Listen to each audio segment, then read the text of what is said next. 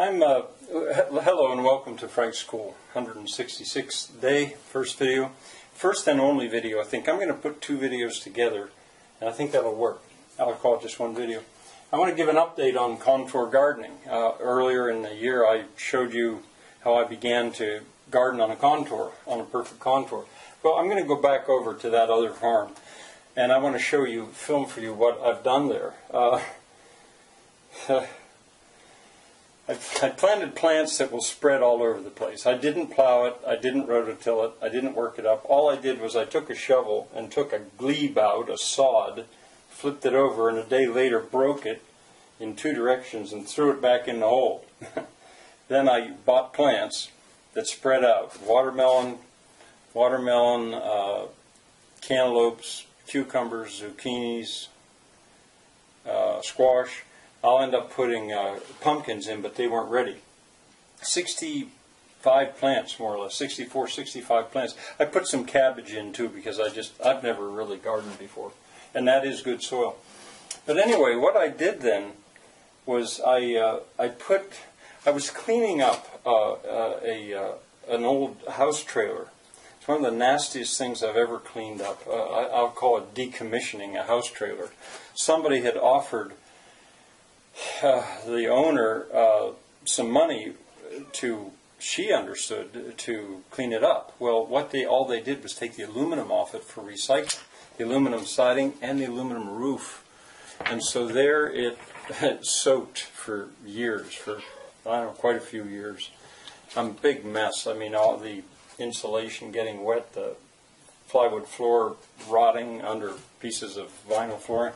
Anyway, I've, I've been working on cleaning it out, up, and I just about have it. And it's right there by the garden. Um, and uh, and uh, I'd come to these pieces of vinyl uh, skirting.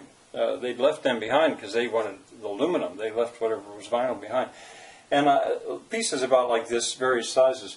And so what I did with them is I laid them on the plants like, like this way and that way. And I knew they'd blow off in a big wind because they were light. They, it's nice that at least they were white. So then I set a tire over them. uh, and when I ran out, um, I was surprised and actually delighted it used them up. Uh, then I went to drywall scrap. I had some pieces of dry from when I was doing this that I hadn't got around to yet. Pieces that that look like this, and I put them below and above and beside and beside. I started to cut them and break them too, uh, because I was running out. And uh, I figured, hey, that's like lime, it's gypsum. I think it's good for the soil. It's white. I laid them and I put tires over them. I was going to use rugs. That was my original plan. And I did have rugs, but I was going to have to cut old rugs. These are all things that would be heading to the landfill. and if they can get another use before going to the landfill, that is would be an example of extreme recycling. it can also reduce kilocalories. The kilocalories used to make uh, more stuff or to plow up a garden. Um, I won't do this, but it occurred to me that because I'll be in Europe, but if a wicked frost were coming, I could take window glass and lay it over the tires, because I I've no one seems to want window glass. You can't really recycle window glass. Nobody knows what to do with it.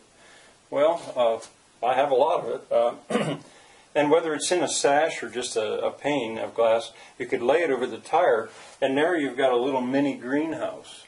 Um, and you know until you get to the warm season, and just let, take it off and store it for next year. Well, I had to gather up 64 or 65 tires, but old no good tires. But on farms, that's fairly common. Um, uh, and uh, you know their expense. You can't get money for them. It costs you a dollar and a half, maybe two dollars per tire to recycle it. So a lot of people they're just not willing to do it. Well, I want you to see that. Um, and then uh, I have these are things. This is something I pulled out of the uh, list over there of what's in the course. Kilocalories as currency. I, I, if I had, if if it had been dry today or yesterday, I would have mowed the grass. And the my idea is to mow the grass ahead of where these spreading plants will spread. But it was wet, and actually, I did mow it one time, and it occurred to me that with that one mowing, if I used a gallon of gas, That's 250 man hours in kilocalories. In CACs, in kilocalories is currency. It's the equal. And, uh, you know, I don't, I probably have 10 man hours in the whole garden. And just in riding over and riding back, it's about three miles away. Just going over and back, I'm using way more kilocalories than uh, I would have to use. And of course, if I had plowed it or if I had rototilled it, all of that would have used gas and it would have been more kilocalories as, as currency. Uh, I don't actually think I have to mow it. I have other things that I can lay down on the grass as a, as a mulch. I don't have any more vinyl or uh, the rugs. I, I, maybe I will use the rugs or even old black plastic that, that I've got. Well, uh, I'm going to go over there, and it's raining now, so I, I don't know how much filming I'll do, but, but that's the only thing, just to give you an update on what's going on with the contour gardening. Uh, so uh, I hope it works out, and uh, I'll see you after uh, after I get back from Europe. Bye now. Well, there's where the house trailer was, and uh, I'm actually using contour gardening as a way of uh, recovering, reclaiming that ground. I've planted oats and uh, no barley and uh, clover, and it's coming up there. But more vinyl. This is what I'm talking about. Vinyl. Uh, these long pieces. I, I I hate to just put them in a dumpster. There's that, and uh, and other pieces. I mean, this truly was a very disgusting job. Um, even those pieces of plywood. Hey, you know what? I could use them as, as mulch. Here's my uh, rug supply. I had laid the rugs down here because I didn't have time to to, to get after that to control these weeds. Uh, and same there. I would mow this if I were going to be here. And there's rugs. They're covering a place where there was an old spring house. And the spring is over here. This is archaeology, I guess, uh, which I'm slowly recovering. That was dumped down in the spring when it was filled in. All right, now the garden. Here are my tires. Isn't that ugly? Uh, but I think it'll work. There's a cabbage, looks like, and there's four pieces of vinyl over a tire.